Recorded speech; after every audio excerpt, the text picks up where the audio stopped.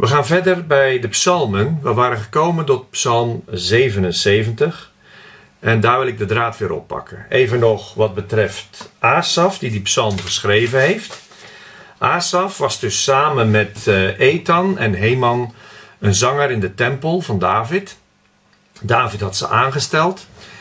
En ehm, ze hadden daar allemaal een specifieke taak. Dus in 1 Kronieken 15 vers 19 kun je bijvoorbeeld zien dat de zangers Heman, Asaf en Etaf, Ethan lieten de koperen cymbalen klinken. Dus zij waren blijkbaar met de cymbalen bezig.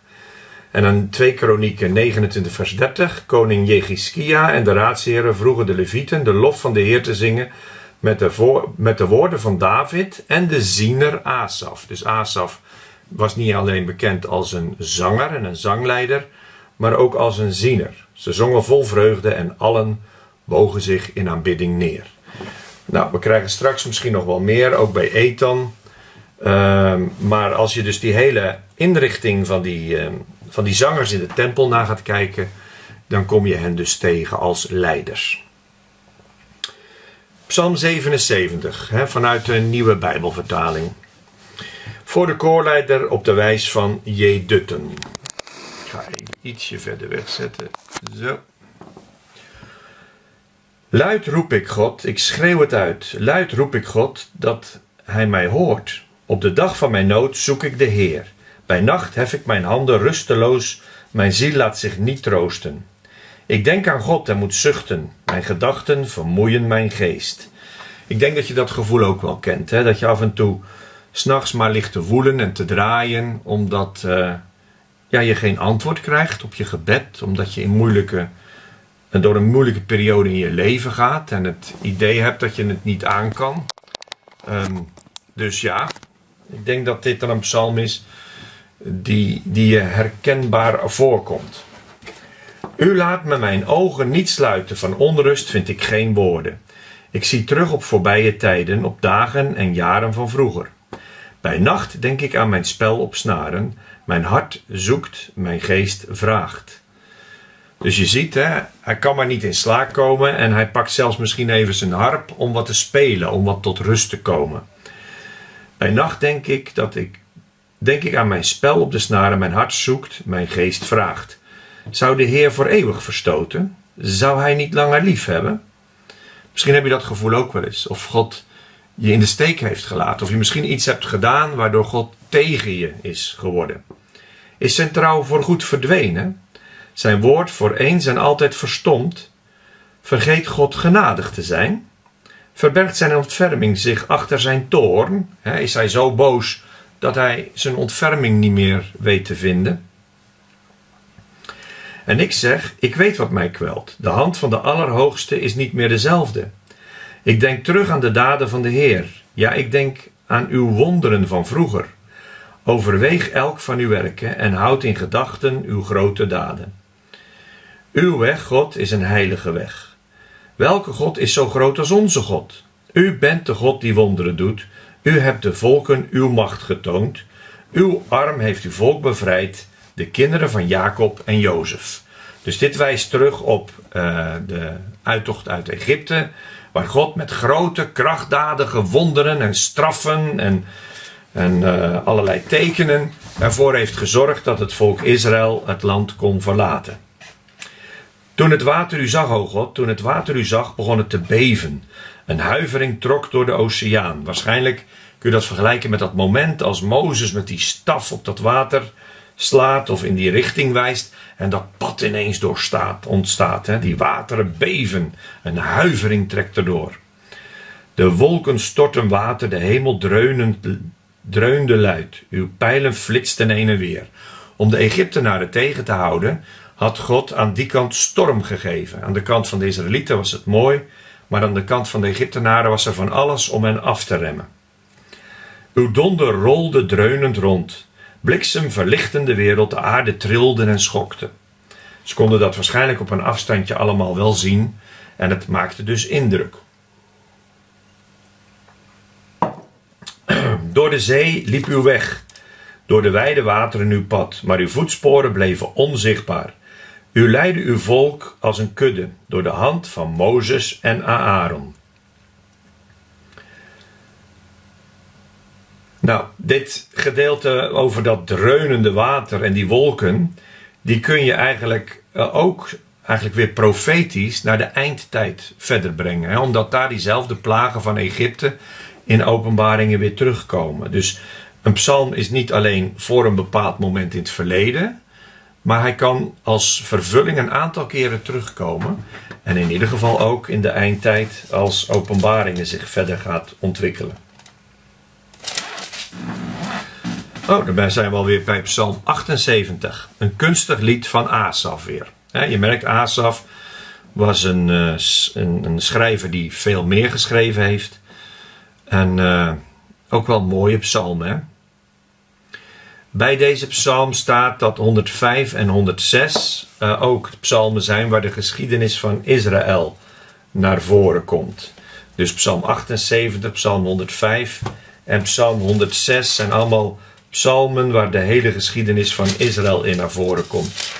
Bij die psalmen staat overigens er niet bij wie ze geschreven heeft.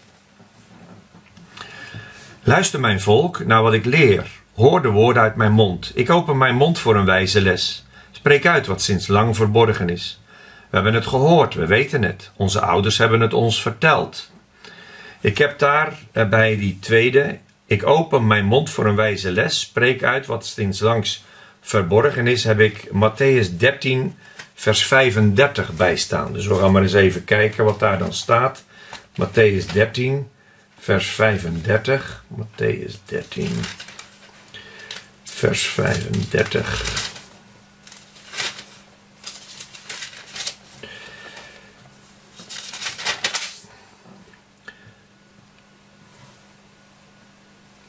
Zo ging in vervulling wat gezegd is door de profeet: Ik zal het woord nemen en spreken in gelijkenissen. Ik zal bekendmaken wat sinds de grondvesting van de wereld verborgen was. Ik open mijn mond voor een wijze les, spreek uit wat reeds lang verborgen is. Dus je ziet dat dat een verwijzing is naar die, naar die psalm. Uh, en dan vaak naar een psalm in het Oud-Grieks. Zoals wij de vertaling nu lezen, uh, is het in het Hebreeuws. En de Hebreeuwse Bijbel en de Griekse Bijbel komen niet altijd overeen, helemaal. Hè, niet letterlijk, woordelijk bedoel ik dan. De inhoud hè, klopt natuurlijk wel, want een vertaling is toch ongeveer hè, dat wat het origineel was. Um, maar Jezus gebruikte bij zijn aanhalingen de Septuagint, de Griekse vertaling. Ik heb al eens gezegd, dat geeft voor mij een soort geruststelling dat Jezus tevreden was met die Septuagint, dat hij ook met een vertaling kon werken en niet per se het origineel Hebreeuws nodig had. Wij willen het onze kinderen niet onthouden. We zullen aan het komende geslacht vertellen wat de roemrijke krachtige daden van de Heer, van de, van de roemrijke krachtige daden van de Heer, van de wonderen die hij heeft gedaan. God wil dat wij getuigen zijn van zijn daden, van zijn woord. En we moeten dat dus ook aan anderen willen vertellen. En zeker aan onze kinderen om het ze te leren, zodat ze God vast gaan houden, dat ze God vertrouwen. Hij stelde een richtlijn vast voor Jacob en kondigde in Israël een wet af. Onze voorouders gaf hij de opdracht die aan hun kinderen te leren. Weer dat, die opdracht dat de ouders de verantwoordelijkheid hebben om uh, alles van God aan hun kinderen te leren. Ook de geschiedenis van God met ons christenen en met het volk Israël. Zo zou het volgende geslacht ervan weten. En zij die nog geboren moesten worden, zouden het weer aan hun kinderen vertellen. Deze psalm is daar ook voor bedoeld. Dus dit was een lied wat helemaal gezongen kon worden. En door middel van het zingen van dit lied konden die ouders dan de geschiedenis van Israël aan hun kinderen vertellen. Dan zouden ze niet worden als hun voorouders, een onwillig en opstandig geslacht onstandvastig van hart en geest, een geslacht dat God ontrouw was. En dat is ook belangrijk om te beseffen. Hè? Men denkt altijd dat het in het verleden beter was en dat het in de toekomst nooit meer zo goed kan worden. Maar God heeft altijd met nieuwe generaties beter kunnen werken dan met oude generaties. Oudere generaties raken vaak een beetje verstof, verstokt in hun geloof. Ook een beetje verwend. Hè? Ze laten zichzelf zondes toe die eigenlijk niet goed zijn, maar waarvan ze denken: nou ja, eh, de Heer vergeeft het wel, hij begrijpt me wel. Een beetje dat Sinterklaas-idee. Er zijn geen stoute kindertjes in België. En, uh, en, en zo worden ouderen juist vaak wat lakser. En terwijl de jongeren vaak weer radicaler zijn. Vandaar dat jongeren het wel moeten weten en dan de kans krijgen om radicaler te zijn dan hun ouders. De mannen van Ephraim, bewapend met pijl en boog, trokken zich terug op de dag van de strijd. Ze hielden zich niet aan het verbond met God en weigerden te leven naar zijn wet. Ze vergaten zijn grote daden, de wonderen die hij had getoond. Als je Jozua nu zou gaan lezen, zou je zien dat het volk Ephraim als eerste eigenlijk ophield met vechten en hun eigen gebied niet helemaal vrij maakte van de vijanden, omdat ze min of meer ook wel bang waren voor die vijanden. En aan de andere kant zijn ze wel ontevreden tegen Jozua dat ze te weinig land krijgen. En Jozua zegt dan tegen ze: Jullie hebben land zat, jullie moeten het alleen zelf veroveren. En uh, desnoods kap je wat bomen en kan je daar steden maken. Dat is ook wel opvallend in Jozua. God maakte zich dan blijkbaar niet zo druk om het kappen van bomen, zoals wij nu voor Brazilië doen. Hè. Je snapt dan wel uh, hoe dat die Bolsonaro kwalijk wordt genomen, terwijl hij als christen misschien ook gewoon een Jozua denkt en denkt, ja, als we ruimte nodig hebben, dan kappen we wat bomen. Hè. Het is ook de vraag hoe God daar allemaal naar kijkt, omdat wij geven nu allerlei dingetjes de schuld van dat het slecht met de wereld gaat. Maar in de Bijbel wordt het al lang voorspeld. En dat God gewoon op een gegeven moment er genoeg van heeft en er een eind aan gaat maken. En dan allerlei signalen aan ons geeft dat dat einde nabij is. Dus het is inderdaad de vraag of wij uh, ons daar echt heel druk over moeten maken, want de geschiedenis gaat toch zoals God die bepaald heeft. Maar uh, dus Ephraim zul je wel vaker in de Bijbel tegenkomen als soms negatief en ruziemakend met de andere Joden. Ephraim was natuurlijk ook een halve Egyptenaar. Hè? Ephraim was een zoon van Jozef uit een Egyptische vrouw, Ephraim en Manasse. Ze zijn wel in het volk van Israël geadopteerd door Jacob als zonen van Jozef, maar ze hadden misschien toch een andere mentaliteit. Ze vergaten zijn grote daden, de wonderen die hij had getoond. In het land Egypte, in de vlakte van Soan, zagen hun voorouders hoe hij een wonder verrichtte. Hij spleet de zee en voerde hen erdoor. Als een dam hield hij het water tegen. daar komt dat beeld van die dam. Tegenwoordig eh, hebben, ja, het heeft de moderne theologie vaak de neiging om alles op een natuurlijke manier dan maar te verklaren, want wonderen eh, ja, bestaan eigenlijk niet. En dus het was eb en vloed. Hè? En je weet ook, als je in Frankrijk wel eens aan de kust bent geweest, dat het verschil tussen eb en vloed wel meer dan 10 meter kan zijn.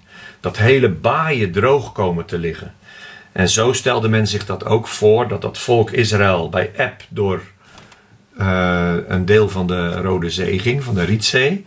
En dat bij vloed dan die uh, Egyptenaren overspoeld werden. Dat is nu natuurlijk makkelijker, dan hoef je niet in een wonder te geloven, maar hier wordt over een pad gesproken hè, en een muur van water zoals het in de film Mozes ook getoond wordt. Hij hield hen met een wolk overdag, in de nacht met een lichtend vuur. Hij leidde hen met een wolk overdag, in de nacht met een lichtend vuur. En die wolk was overdag een wolk en s'avonds gaf dat licht. Hij leidde hen met een wolk overdag, in de nacht als een lichtend vuur. Hij spleet de rotsen in de woestijn en leste hun dorst met een watervloed. Dus die, die rotsen werden gespleten en er kwam zoveel water uit dat een heel volk van minstens 600.000 man uh, ja, gelaafd konden worden, hè, dus hun dorst konden lessen. Uit de steen ontsprongen beken, het water stroomde als rivieren. Uh, dus als we het nu dan toch over hè, dat uit een steen leven voortkomt, is wat de evolutietheorie leert. Nou, God liet er water uitkomen voor zijn volk. Een evolutietheorie moet volgens mij God niet zoveel hebben. Uh, maar hij kan wel uit stenen leven en water voort laten komen. Hè. Hij gebruikt zichzelf ook als voor zichzelf het beeld van een rots die betrouwbaar is. Eben. Eben, daar zit het woord ab en ben in. Vader en zoon, Eben. Dus in de rots die bij Israël was, waren zowel de vader als de zoon betrokken.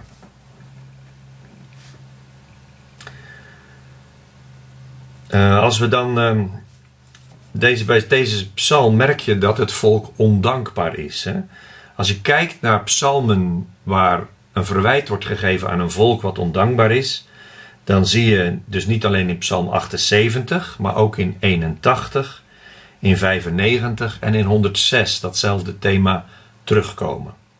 Ik zeg dat nu even omdat het hier in mijn Bijbel erbij staat en anders ben ik het straks misschien vergeten. Dan gaan we verder met vers 17. Maar zij bleven tegen hem zondigen, de Allerhoogste, tergen in de woest, woestenij. Met opzet, met opzet daagden zij God uit en riepen om eten zoveel als ze wilden. ze kwamen op Mozes af en ze zeiden: Wij vergaan hier in die, in die woestijn. Je hebt ons hier alleen maar gebracht om ons verloren te laten gaan. We hebben geen eten, we hebben geen drinken. En God wordt dan zo boos op het volk dat hij geeft een overvloed aan water en een overvloed aan vlees. Maar hij geeft ze daarbij gelijk een bestraffing, want doordat ze dat vlees niet goed eh, braden, er komt er een ziekte in het volk en sterven er heel veel. Hè? En je kan dat zelf echt wel met het corona vergelijken, omdat het ook weer die combinatie van dood vlees, wat niet goed gekookt is, wat onzuiver is, en een ziekte die door het hele volk gaat en heel veel mensen dood. Dus ook dat lijkt zeker op zo'n coronacrisis. Zij beledigden God en zeiden: Zou God in staat zijn een tafel te dekken in de woestijn? Kan God dat wel? Terwijl hij al die wonderen in Egypte had laten zien. Dus je begrijpt hoe ze God beledigen hier. Kan God dat wel? Nou, hij zal het ze laten zien. Toen hij op de rots sloeg, vloeide er water, stroomde er beken. Maar zou hij zijn volk ook brood en vlees kunnen geven? Nou, dus ook daar in deze psalm zingen de, kind, de, zingen de ouders naar de kinderen de geschiedenis van Israël en de fouten die ze hebben gemaakt, zodat in de toekomst voorkomen kan worden dat die kinderen diezelfde fouten weer maken en God niet vertrouwen en God beledigen. toen er op die rots werd geslagen, kwam er een overvloed aan water. Maar hoe zit het met brood en hoe zit het met vlees? Toen de Heer dat hoorde, ontstak hij in woede. Een vuur leidde op tegen Jacob. Tegen Israël ontbrandde zijn toorn. Want zij hadden, tegen, zij hadden God niet geloofd, niet vertrouwd op zijn hulp. God vindt het belangrijk dat we hem vertrouwen. God vindt het belangrijk dat we ja, niet loslaten van, met ons geloof in hem. Want anders keert hij zich tegen ons. Want mensen die ophouden te geloven, die beledigen hem nog meer dan mensen die nooit van hem gehoord hebben en dus niet kunnen geloven.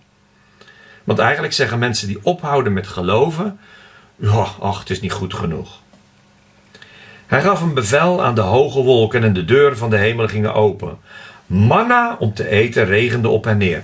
God gaf hem brood uit de hemel.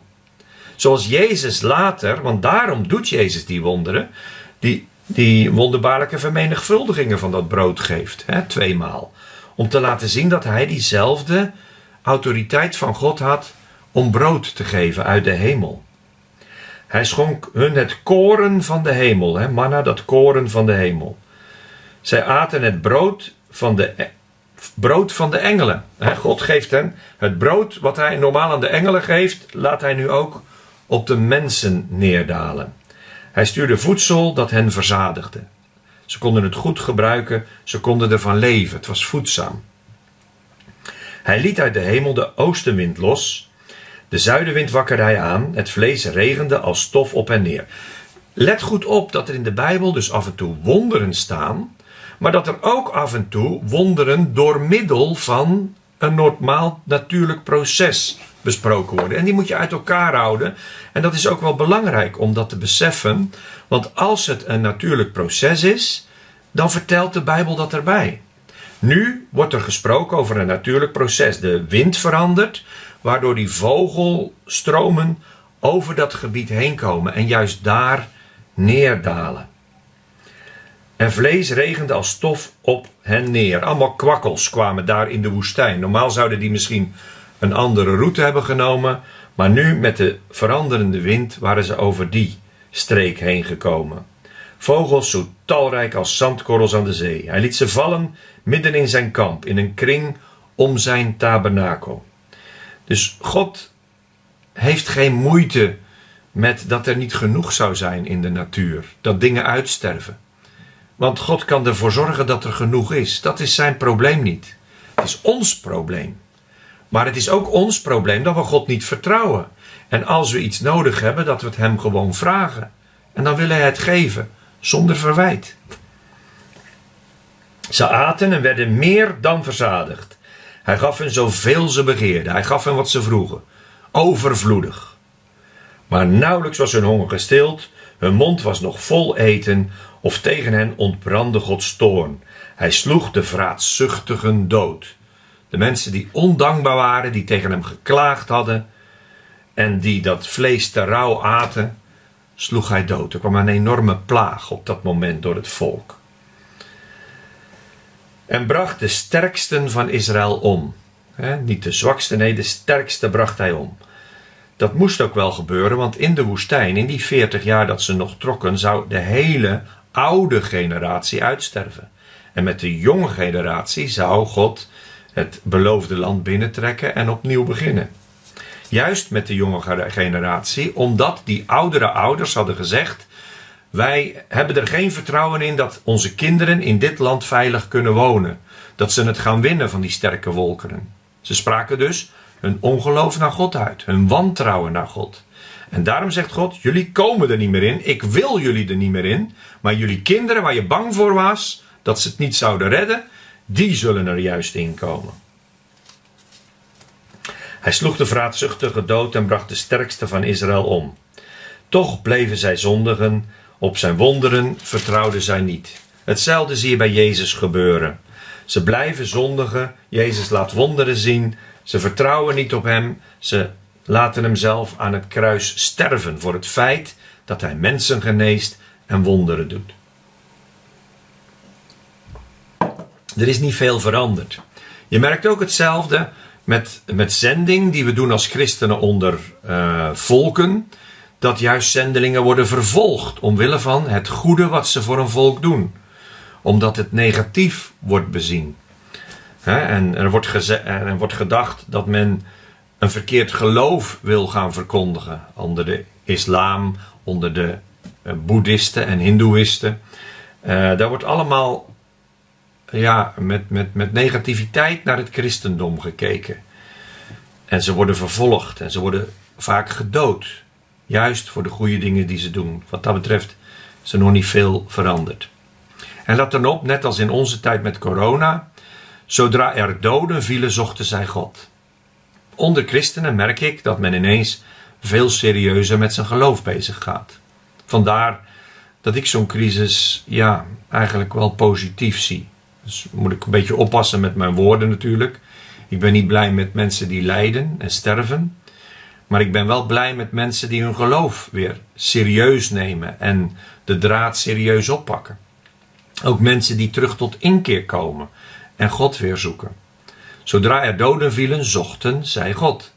Ze kwamen tot inkeer en verlangden naar Hem, dachten eraan dat God hun rots was, God de Allerhoogste, hun bevrijder. Ook met dat corona, hè, we hebben het niet in de hand, er is nog niks wat het op kan lossen en mensen zoeken dus hun heil weer bij God. Maar zij bedrogen hem met hun mond, met hun tong logen ze hem voor. Hun hart was niet aan hem gehecht, zij waren, zij waren zijn verbond niet trouw. Soms hè, komen mensen tot bekering, ze beloven God iets. Heer, als u mij gezond houdt, dan zal ik trouw naar de kerk blijven gaan. Dan zal ik dit, dan zal ik dat. Maar heel vaak, nog geen twee maanden nadat zo'n crisis voorbij is, zijn we onze grote woorden en onze beloftes alweer vergeten. Uit erbarmen bedekte hij hun zonde. Hij wilde geen dood en verderf. Dikwijls bedwong hij zijn toorn. God zou vaker kwaad eh, kunnen zijn geworden. Hij wilde wel vaker het volk van Israël uitroeien. En waarschijnlijk wil hij heel vaak ook al in deze wereld hard optreden. Maar hij bedwingt zich, omdat God geduld heeft met degenen die nog tot bekering moeten komen. Dat staat ook in Petrus, als je dat daar weer gaat lezen. En joeg hij het vuur van zijn woede niet aan. Dan dacht hij, ze zijn maar vlees, adem die gaat en niet terugkeert. Het zijn maar mensen. Adem die gaat en niet terugkeert. Eh, als ze van mij geen adem krijgen, dan bestaan ze niet meer. Ik ga me daar niet door laten opjutten. Hoe vaak tergde zij God in de woestijn? Ergens staat er dat de, uh, bij Massa en Meriba hadden de Israëlieten God al voor de tiende keer op de proef gesteld. Omdat ze hem iedere keer opnieuw niet vertrouwden. Hoe vaak tergden zij God in de woestijn? Kwetsten zij hem in dat dorre land? Hoe vaak tergen wij God? Kwetsen wij hem? Vertrouwen we hem niet? Hoe vaak keerden zich af en daagden ze hem uit? pas op, met God moet je echt geen spelletje spelen. Als wij God uitdagen, dan kan ik je vertellen wie er verliest. Dat ben jij. Want van God ga je het niet winnen. En God kun je geen blaasjes wijs maken. Krenkten zij de heilige van Israël. Zij dachten niet aan zijn helpende hand, aan de dag dat hij hen verloste van hun belagers en in Egypte tekenen verrichtte, wonderen in de vlakte van Soam. Hij veranderde hun rivieren in bloed. Uit geen waterstroom was meer te drinken. Hij stuurde de steekvlieg die hen opvrat en de kikvors die verderf bracht. Hij gaf hun gewas aan de sprinkhaan, aan de kaalvreter hun oogst. Hij doodde hun wijnstokken met hagel, hun vijgenbomen met ijzel. Ook hier hebben we die plagen al gezien, hè? Dat de wijnstokken of onze perenbomen dan meestal en appelbomen, fruitbomen, dat die uh, door hagel en ijzel, hè, door bevriezen, dat die uh, omkomen, dat die uh, ja, beschadigd worden. Waardoor er geen, geen nieuwe oogst, geen goede oogst komt en we dus eigenlijk niet gezegend worden. Als we niet meer met God rekening houden, dan trekt Hij zijn bescherming van ons af en dan gaan we dit soort plagen steeds meer meemaken. Hij baande een weg voor zijn toorn, hij behoedde hen niet voor de dood, gaf hun leven prijs aan de pest. Hier wordt Israël al gewaarschuwd voor dat wat tot een, maximum komt, een, een ultimatum in de Tweede Wereldoorlog. En als het volk trouw was gebleven aan God, was het allemaal niet gebeurd. En natuurlijk zijn al die volken die de Joden hebben bevolgd verwijtbaar en zullen ook door God ter verantwoording worden geroepen. Maar uh, de Joden, Gods volk, moet beseffen dat het niet met ze was gebeurd als ze hun eigen God, Yahweh, trouw waren gebleven. En voor hen dan Adonai, Hashem. Als ze die trouw waren gebleven, dan had God hen niet losgelaten. Dan had hij ze nog steeds beschermd. Hij doodde in Egypte elke oudste zoon, de eerstgeboren mannen in de tenten van Gam.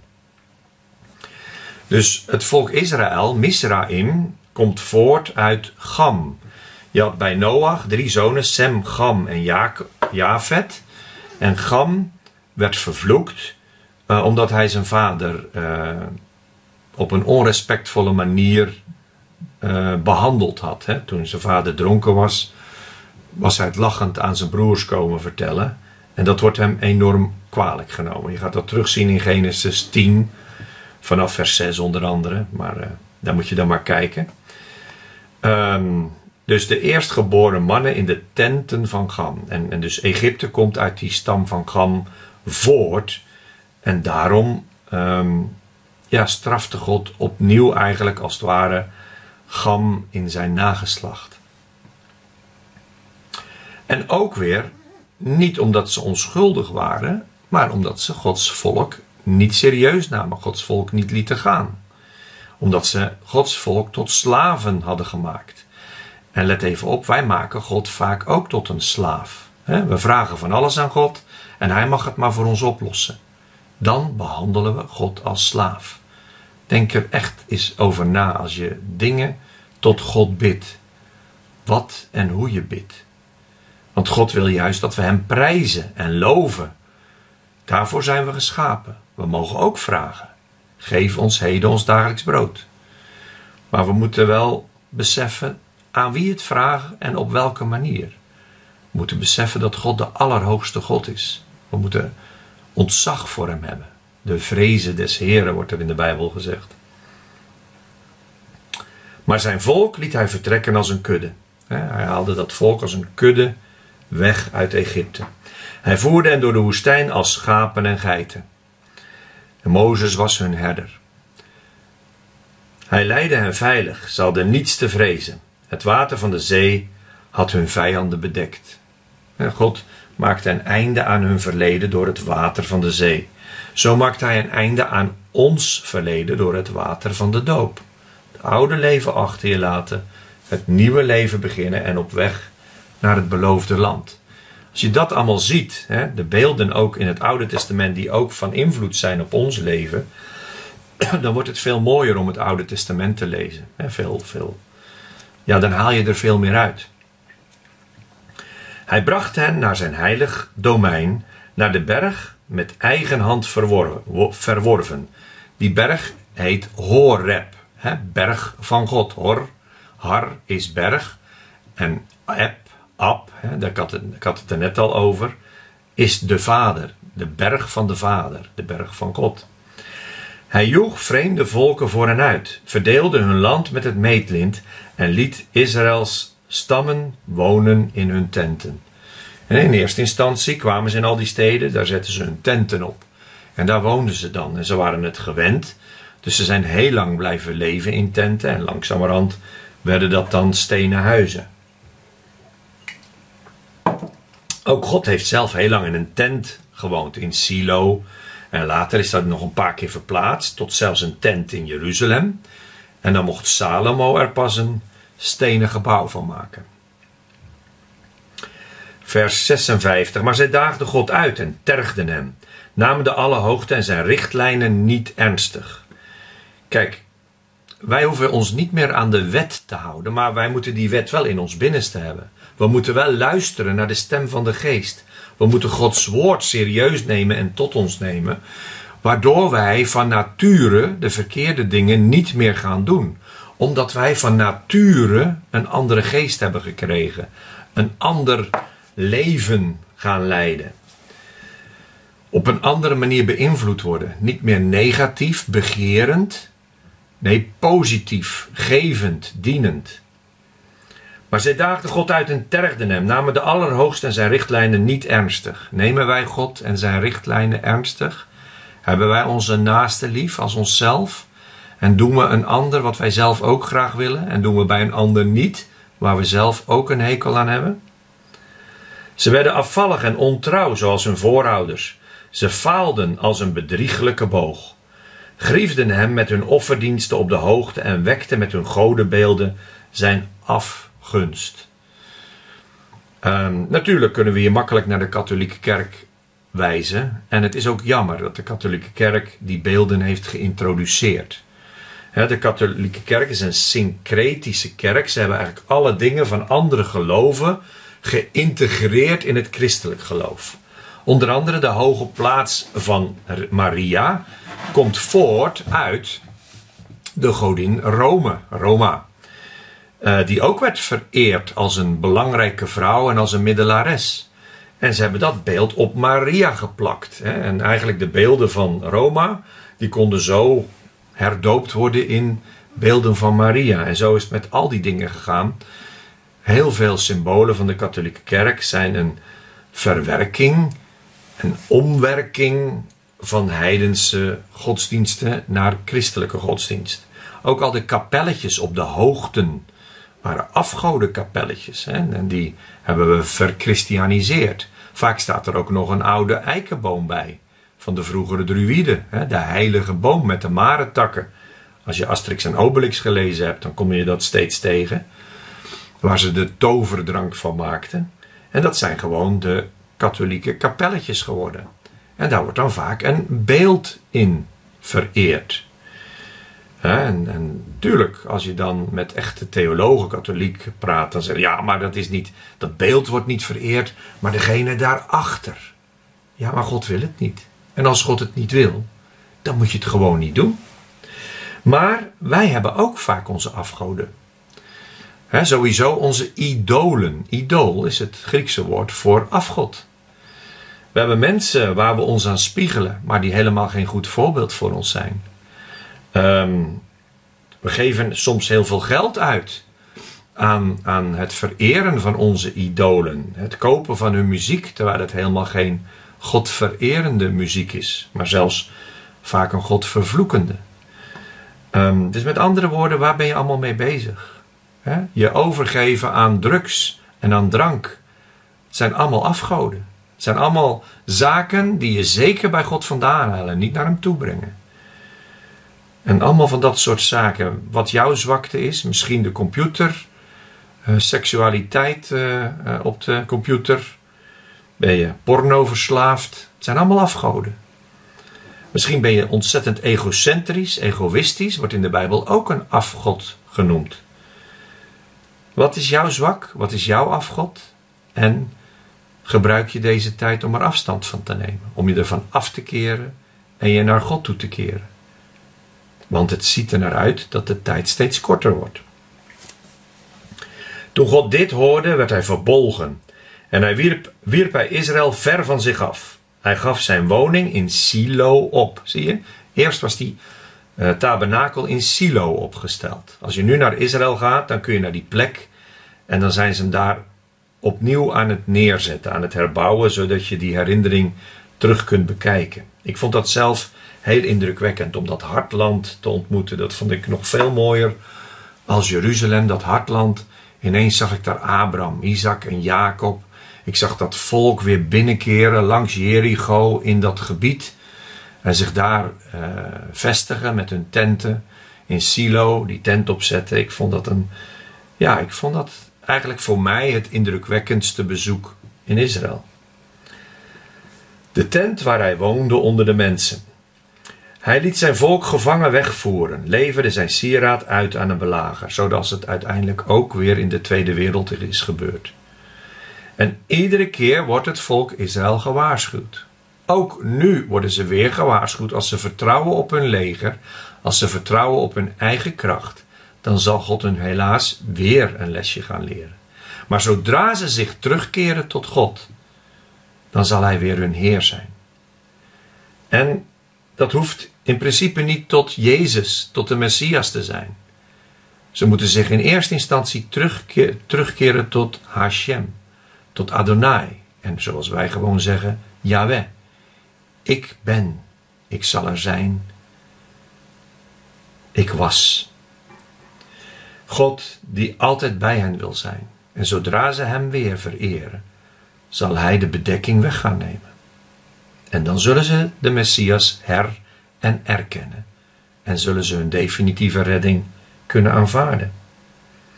Hij liet zijn volk gevangen wegvoeren, leverde zijn sieraad uit aan de belager. En dat heeft hij al die tijd gedaan, omdat het volk zich niet bekeerde. Ze bekeerden zich soms wel tot een wettisch geloof, maar niet tot God. Hij gaf zijn sterke mannen prijs. Vaak met, met dat wettische geloof, eventjes om dat toch maar aan te halen. Vaak ehm, ja, hebben Joden het idee dat ze door wettisch te zijn een zegen zijn voor de wereld. Maar ze zijn geen zegen voor de wereld door wettisch te zijn. Ze zijn zegen voor de wereld door ons terug te brengen tot God. Door priesters te zijn. Door die priesterlijke taak te vervullen. Niet door de wetten te vervullen, nee, door de opdracht van God te vervullen. En dat maakt het een eigen werk in plaats van Gods werk. Als ze zelf denken dat ze door die wet op de beste manier te vervullen een zegen zijn voor de wereld, dan is het door eigen kracht. En dat zie je steeds terugkomen, die eigen kracht, die eigen inspanning. En als dat er vanaf gaat, als ze terug hun heil bij God zoeken, dan zal God voor hen de weg weer direct openen. Hij gaf zijn sterke mannen prijs aan het zwaard. Hij was verbolgen op zijn eigen bezit. God was boos. Hij had zoveel met ze meegemaakt. Hij had ze zoveel van zichzelf laten zien. Maar ze namen hem niet serieus. Het vuur verslond zijn jonge mannen. Het vuur verstond. Denk aan de ovens. Het vuur verslond zijn jonge mannen. Zijn vrouwen werden niet bejubeld. Nee, vaak zelfs verkracht. Zijn priesters kwamen om door het zwaard. Alle Kohens omgekomen. Zijn weduwen vonden geen tranen meer. Ook de huidige Joden die de oorlog hebben overleefd, vinden vaak geen tranen meer. Ze kunnen er niet over spreken. Ze zitten vast. Dat werd al voorspeld. Israël, wanneer hoor je de stem van je God weer? Wanneer bekeer je je echt? Niet tot wetticisme, maar tot de God die jou lief heeft. De Heer ontwaakte als uit een diepe slaap, als uit een slaap, als een strijder uit de roes van de wijn. Hij joeg zijn belagers terug, bedekte hen met eeuwige smaad. Dat is dat moment als God zegt: En nu is het genoeg. Nu heb ik mijn volk genoeg gestraft. Of mijn volk is door de wereld genoeg gestraft. Nu wil ik hen weer zegenen. Nu wil ik hen weer aannemen. En dan treedt God weer op. Misschien zie je dit als een belediging. De Heer ontwaakte als uit een slaap, als een strijder uit de roes van de wijn. Maar het zijn uh, metaforen, het zijn vergelijkingen. God heeft zijn heel tijd losgelaten. En de Joden vragen zich dat ook af. Waar was God dan? Waarom doet God niks? Is er wel een God? Heel veel Joden zijn hun geloof volledig kwijtgeraakt. Want als er een God was, dan had hij dat niet laten gebeuren.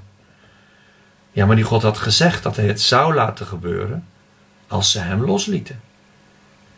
Dat is het cirkeltje waar we steeds in terugkomen. En dan pakt God de draad weer op. Hij jaagt zijn belagers terug, bedekte hen, bedekte hen met eeuwige smaad. Die belagers worden bedekt met eeuwige smaad. Hij verwierp de tent die bij Jozef stond. De, de stam Ephraim koos hij niet.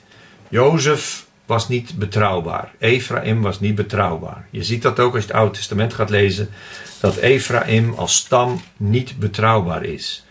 He, ze houden op met vechten. Ze veroveren niet hun hele land. Ze zijn ontevreden tegen Jozua terwijl ze zelf de oplossing in handen hebben, maar hem niet willen doen. Ehm, dus God laat Jozef, los. Nee, de stam Juda koos hij. En waarom kiest hij de, de stam Juda? Omdat ook Benjamin het verknald heeft. Saul kwam uit de stam Benjamin en Saul was ook als koning ontrouw. Dus ook de stam Benjamin kan de leiding niet meer nemen. Daarom krijgt Juda, uit de stam Juda komt de verlosser voort. En Juda, daar komt Jozef uit voort. De Sionsberg heeft hij lief. Hè? Dus God heeft de, de berg Sion in Jeruzalem lief. Hij bouwde zijn heiligdom hoog als de, de hemel en zet het vast als de aarde voor eeuwig. Ook dit zijn metaforen, vergelijkingen. Hm? Zijn heiligdom heeft het respect zo hoog als de hemel, hè, omdat God daarin vertegenwoordigd wordt. Daarom is dat heiligdom zo hoog als de hemel, omdat God zelf vanuit de hemel daar zijn invloed uitoefent. En zet het vast als de aarde voor eeuwig. Hij zet het op de aarde vast voor eeuwig. Zijn tempel, zijn huis zal bij de mensen blijven. Maar op een andere manier dan de Joden verwachten. Zijn keuze viel op David, zijn dienaar. Hij riep hem bij de schapen weg. God begint met de jongste. Hè? Oh, let op, hè, weer de jongste. Niet een oudere, nee, de jongste. God begint met een nieuwe generatie. En roept hem bij de schapen vandaan. En net als dat Jezus later in het Nieuwe Testament doet, maakt hij van hem een herder van mensen. In plaats van een herder van schapen, wordt het een herder van mensen. Zoals de discipelen vissers van vissen waren en ze worden vissers van mensen. Het is allemaal niet toevallig dat dat er allemaal staat. Het heeft allemaal een verwijzing naar elkaar. En God kan met gewoon eenvoudige, jonge mensen vaak beter werken dan met de ouderen die verstokt zijn geraakt. Zijn keuze viel op David, zijn dienaar. Hij riep hem weg bij de schapen, haalde hem achter de zogende ooien vandaan en maakte hem herder van Jacob. Zijn volk, zijn volk van Israël zijn eigen bezit. Hij maakte hem herder van Jacob, zijn volk, van Israël, zijn eigen bezit. Israël blijft het bezit van God en de beloften voor Israël blijven gelden. Dat gaan we ook in de psalmen straks weer terugzien. Maar er moet wel iets gebeuren in Israël.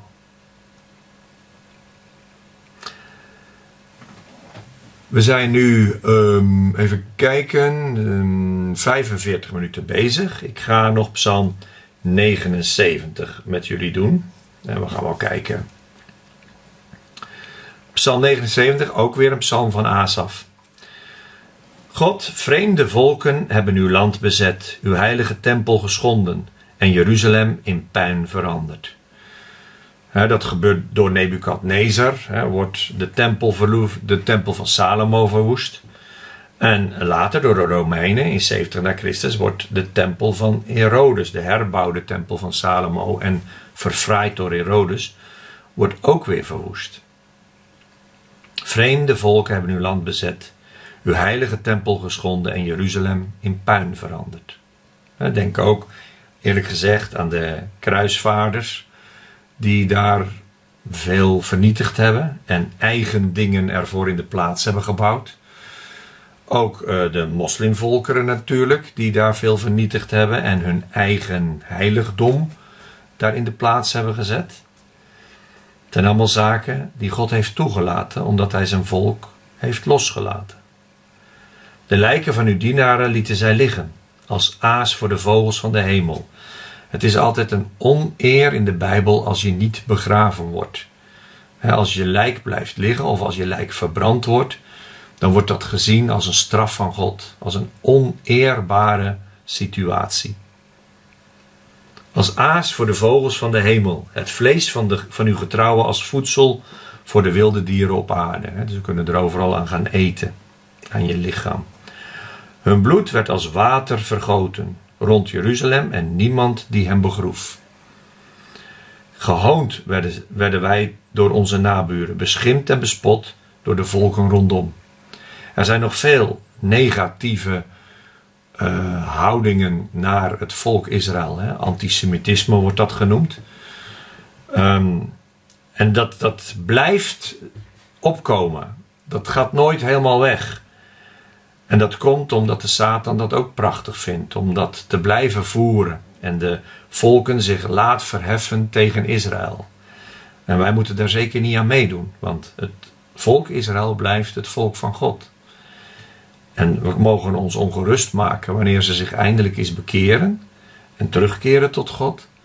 Maar het blijft het volk van God waarop de belofte rust. Hoe lang nog, Heer, bent u voor eeuwig verbolgen? Hoe lang blijft uw woede branden? Stort uw toorn uit over de volken die u niet kennen. Heer, pak nou eens die volken aan die u niet kennen, die u helemaal niet volgen. Hè? Wij doen nog ons best.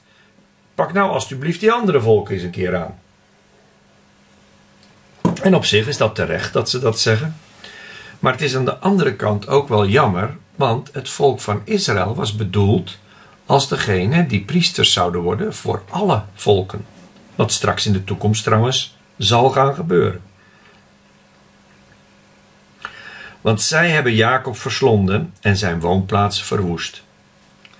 Reken ons de zonde van vroeger niet aan. Toon erbarmen en haast u. Want onze ellende is groot. Help ons, God, bevrijd ons tot eer van uw roemrijke naam. Red ons en bedek onze zonde omwille van uw naam. Heer, red ons niet omwille van onszelf en dat wij zo goed zijn, maar doe het omwille van uw naam, want u hebt uw naam aan Israël verbonden. Wilt u alstublieft omwille van uw naam ingrijpen en een herstel brengen en de andere volken straffen? Dat is dus profetisch. Dat gaat ook gebeuren. Maar belangrijk is dat eerst de houding van Israël verandert. Dat ze niet op hun eigen leger, op hun eigen kracht, op hun eigen wetten vertrouwen, maar dat ze op God gaan vertrouwen. Waarom mogen de volken zeggen: Waar is nu hun God? Overigens, dit zeiden ze ook tegen Jezus aan een kruis. Hè? Waar is nou die God die jou kan bevrijden? Laat de volken weten, laat het ons zien, dat het bloed van uw dienaren wordt gewroken. Laat het zuchten van uw geknechte volk u bereiken. Machtig is uw arm. Houd in leven wie ten dode zijn gedoemd. Heer, wilt u alstublieft wraak nemen over dat wat ze uw volk hebben aangedaan. En dat gaat gebeuren. Vandaar dat degenen die daaraan meegewerkt hebben, En wel heel snel mogen zij met vergeving vragen. En diep buigen voor de God van Israël. Want ze zullen het op een verschrikkelijke manier terugkrijgen op hun hoofd straks als het oordeel door God over hen wordt uitgesproken. Let op met anti-Zionisme, antisemitisme. Pas ermee op. Als je daaraan toegeeft, als je daaraan meedoet, dan krijg je het oordeel van God over je. Straf de volken rondom ons zevenvoudig voor de smaad die ze u hebben aangedaan, Heer. Wij zijn uw volk, de kudde die u hoedt. Wij zullen u prijzen tot in eeuwigheid, van geslacht op geslacht, verhalen van uw roem. Heer, alstublieft, je ziet die bekering hier, dus dat gaat gebeuren, dat komt. Dat volk zal zich bekeren.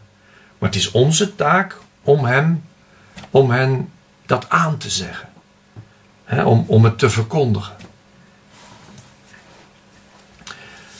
Nou, we zijn nog geen uur bezig, dus we gaan ook nog naar Psalm 80.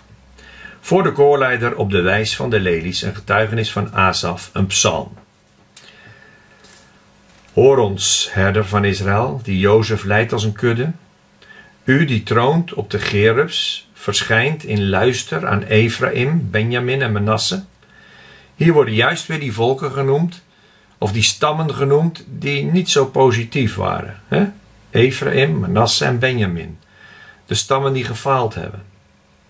Maar ook die komen blijkbaar tot bekering. Dat zie je in deze psalm als het ware voorspeld worden. Daarom zijn de psalmen zo mooi, want als je die goed leest en aanvoelt, dan zie je gewoon in de psalmen wat er allemaal gaat gebeuren. Het is profetisch, het voorspelt al hoe het zal gaan. Ook de, de stammen die ja, zwak waren, het niet goed deden, die horen er weer bij. Ephraim, Benjamin en Manasse. En Jozef. Jozef die eigenlijk in Ephraim en Manasse vertegenwoordigd wordt.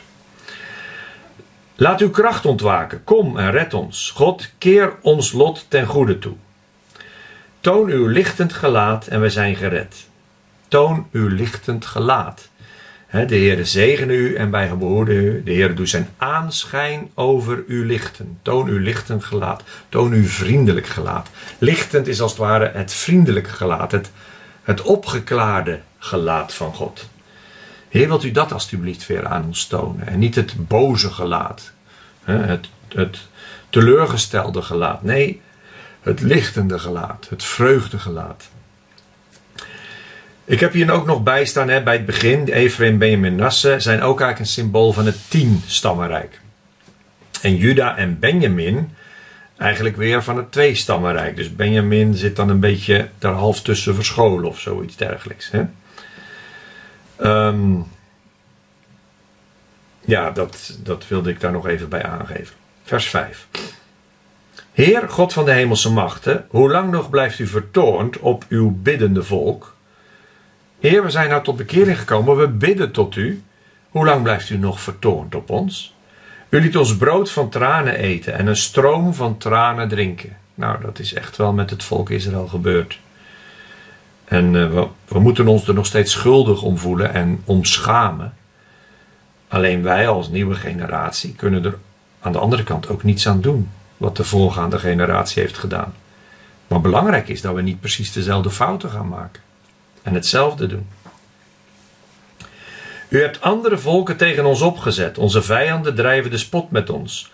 God van de hemelse machten, keer ons lot ten goede. Toon uw lichtend gelaat en we zijn gered. Weer dat lichtende gelaat, dat zegenende gelaat. Toon uw lichtend gelaat en we zijn gered. Als het volk terugkeert tot God, zal God zijn lichtende gelaat weer laten zien. Maar ze moeten zich bekeren. En dat staat vast te gebeuren. Hè? In die eindtijd gaat het zeker komen. U hebt een wijnstok uitgegraven in Egypte en volken verdreven om hem te planten. Hij heeft het volk Israël uit Egypte meegenomen, uitgegraven uh, en volken verdreven om hem te planten en, in het, en het opnieuw geplant in Israël. Het is uit Egypte weggehaald, het plantje, en het is opnieuw geplant in Israël. En die volkeren die daar waren, zijn door God verdreven, omdat ze zo zondig waren. Want dat was de reden dat de volken verdreven werden. God had lang genoeg geduld met ze gehad. 400 jaar zijn ze tegen hem blijven zondigen En toen heeft God ze verdreven. Die periode van 400 jaar, die komt meer in de geschiedenis voor. Je moet er af en toe maar eens op gaan letten. Dat God lang geduld heeft, maar dan ineens er een einde aan maakt. U gaf hem een ruime plek. Hij schoot wortel en vulde het land. Het volk Israël kwam in heel het land Israël. Alle stammen verspreidden zich. De bergen werden bedekt door zijn schaduw, de machtige ceders door zijn twijgen. Hij strekte zijn takken uit tot de zee, tot aan de grote rivier zijn ranken. Dus het volk Israël bezet dat hele land. Hè. Ze, ze, nemen het allemaal in bezit. Waarom hebt u zijn omheining vernield? het ging eigenlijk heel goed. En dan heeft God de omheining weggehaald. Hij heeft de bescherming van ze weggehaald. Voorbijgangers plukken hem nu leeg.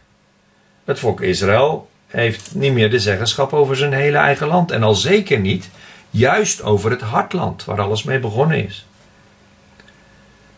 Sichem, hè, daar die omgeving. Ehm, waarom hebt u zijn omheining vernield? Voorbijgangers plukken hem leeg. Wilde zwijnen wroeten hem om. Varkens, wilde zwijnen, wilde varkens, wroeten hem om. Veldieren vreten hem kaal. God van de hemelse machten, keer u tot ons. Kijk naar, neer uit de hemel en zie. Bekommer u om deze wijnstok. Hè? Jaag die varkens, die heidenen weer weg. En laat dit land weer van uw volk zijn. Het zou kunnen zijn dat God daar Trump voor gaat gebruiken. Hoewel ik absoluut niet geloof dat Trump een christelijk vorst is. Maar God kan van heidense vorsten gebruik maken om zijn doel te bereiken. Dat was bij Nebukadnezar, dat was ook geen christelijk vorst.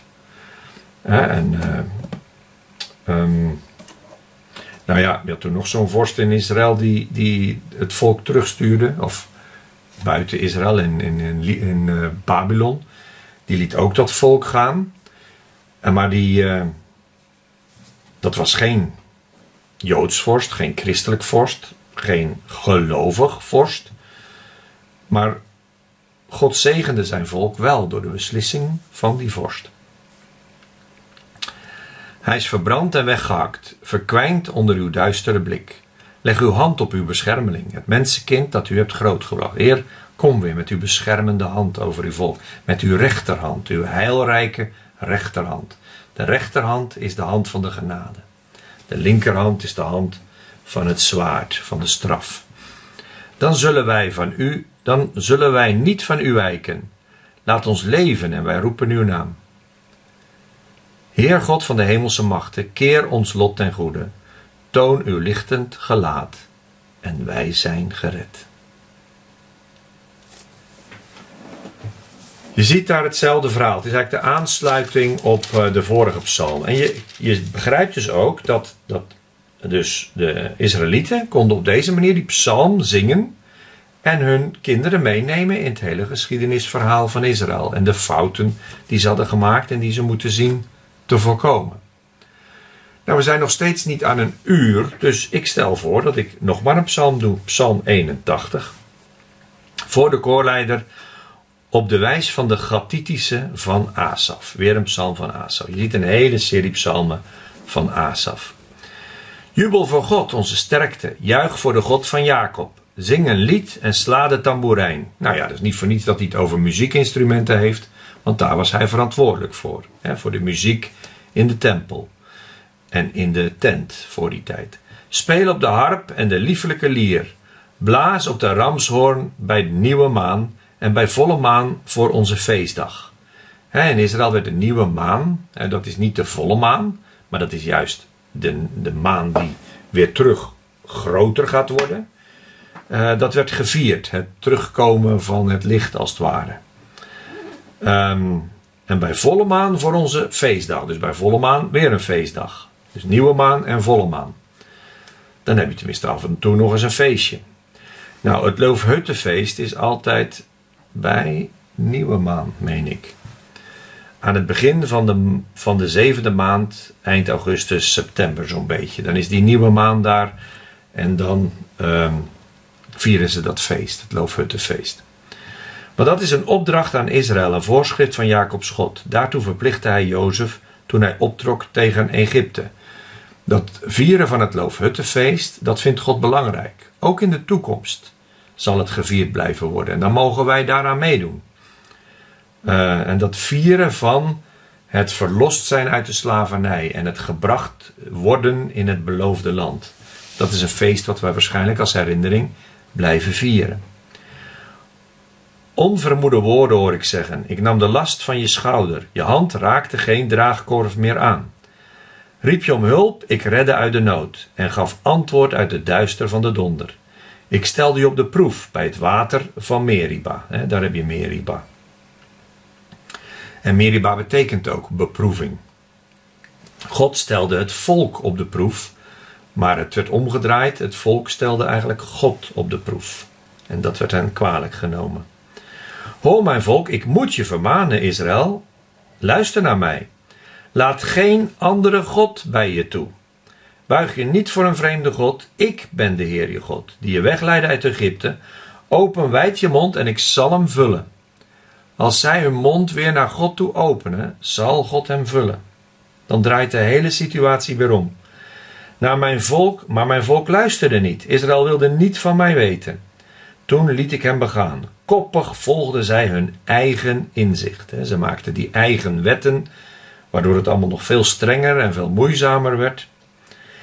Ach, wilde mijn volk maar horen, wilde Israël mijn wegen maar volgen. God roept ze op. Luister toch alsjeblieft weer. Volg mijn wegen weer terug. Niet je eigen wegen, nee, mijn wegen. Spoedig zou ik zijn vijanden vernederen. Als het volk terugkeert tot God, zal God die vijanden spoedig vernederen. Alles wacht op die bekering van Israël. Zou mijn hand zich keren tegen zijn belagers? Wie de Heere haten, zouden kruipen voor zijn volk. Dat zou voor altijd hun lot zijn. Maar Israël zou hij voeden met de edelste tarwe. Ja, jou zou ik spijzigen met honing uit de rots. God staat klaar om Israël weer te zegenen. Hij staat klaar om het weer voor hen op te nemen. Maar dan moeten ze zich bekeren. Dat is zo belangrijk, dat moment. Dat ze zich weer keren tot Yahweh. Goed, laten we het maar tot zover dan laten. Psalm 82. Volgende keer beginnen we dus bij Psalm 83. Ehm, en uh, ik hoop dat je uit die psalmen veel leert over de houding die wij moeten hebben naar Israël. We moeten beseffen dat God de draad met Israël weer op gaat pakken. Dat het zijn God, zijn volk blijft. En dat het hun God weer gaat worden als ze zich bekeren en tot hem keren. En wij moeten dus altijd met respect met Israël omgaan en voor hem blijven bidden. En niet meedoen met anti-Zionisme en antisemitisme, want ook dan keren wij ons tegen God en tegen Gods plannen. Dus ik hoop dat je dat uit deze psalmen leert en ook al de toekomst ziet die erin verkondigd wordt. Het gaat allemaal goed komen. God heeft een plan en dat zal uitgevoerd worden. Goed, bedankt voor jullie aandacht en tot de volgende.